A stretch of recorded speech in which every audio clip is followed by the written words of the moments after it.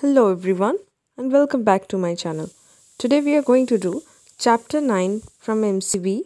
The name of the chapter is The Other Side of Scientists.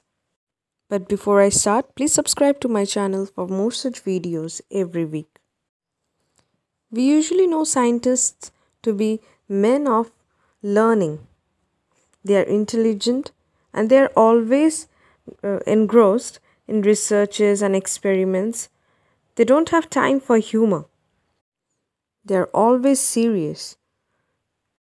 Here in this chapter, we are going to know a different side of the scientist's characters.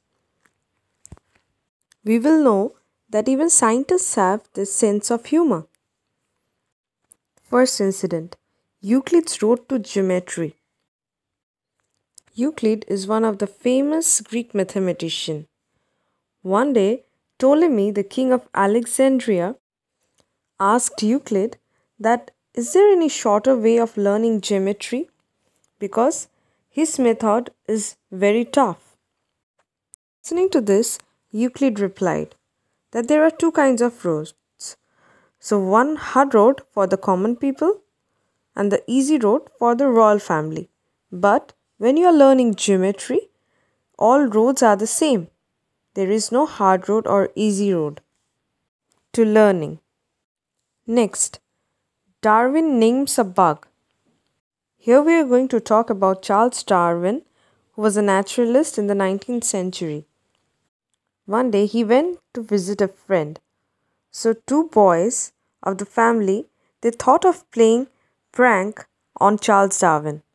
So what they did was they glued together various parts of insects like butterfly, centipede, beetle, grasshopper.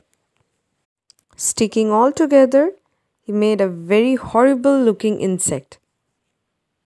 So the two boys went to Darwin hoping for an answer. They told Darwin that can you tell me what kind of bug it is?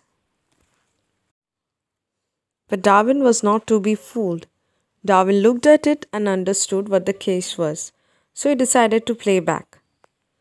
He asked the boys, Did you notice whether it hummed when you caught it, boys? The boys instantly replied yes. So Darwin said, Then, since it was humming, so it's a humbug. And the boys left. Next, Pasteur's wedding day. So here we are going to talk about Louis Pasteur, one of the famous French chemists.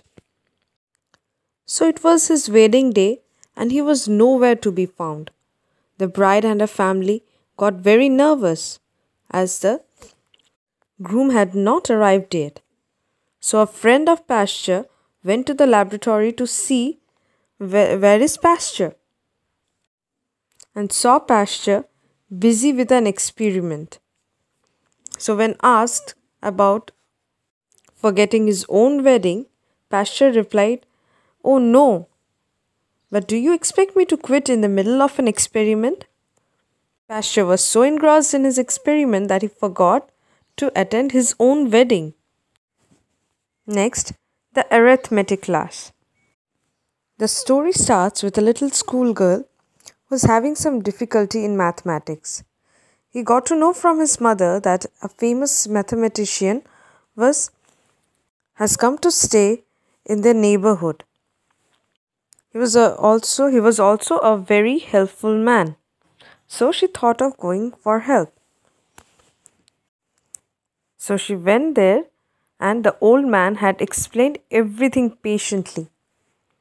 After that, when she went back home, she told her mother that she found it much more easier than what her teacher taught in school.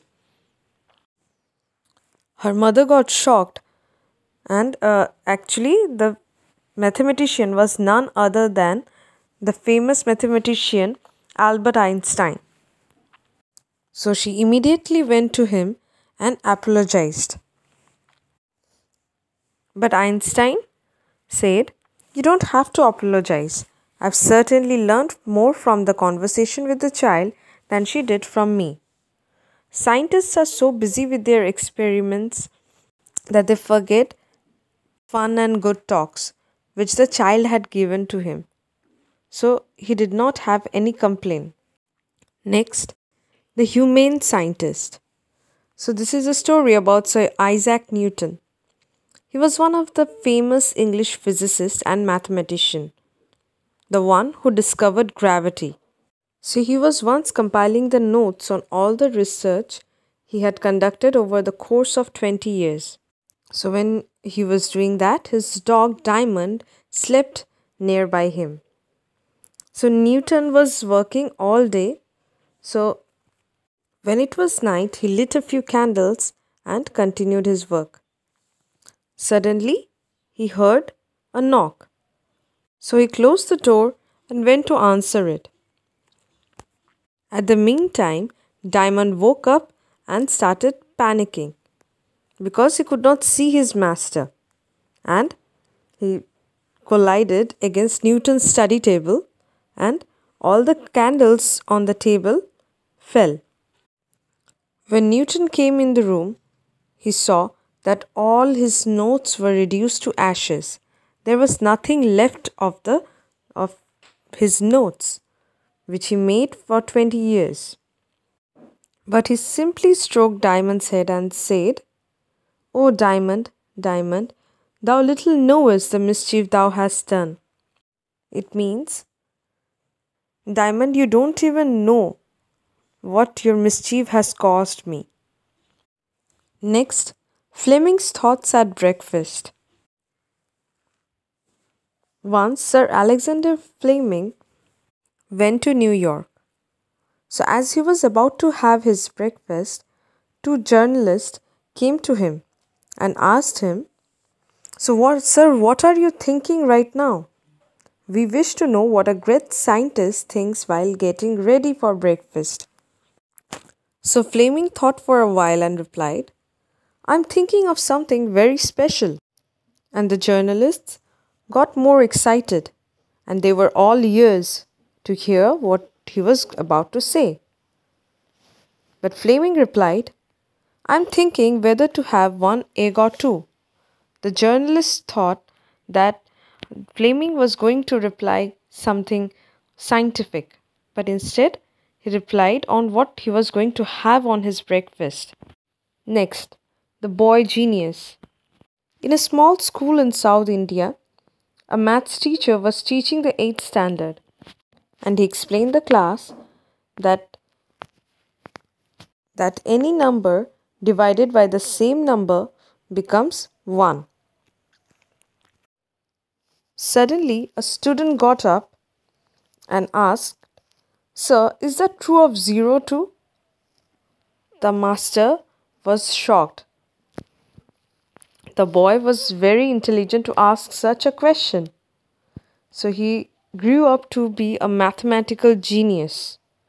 The name of the Indian mathematical genius was Srinivasa Ramanujan. So this is all about the chapter.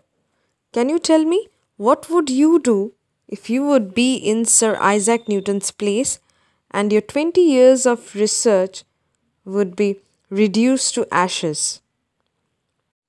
Do let me know in the comments below.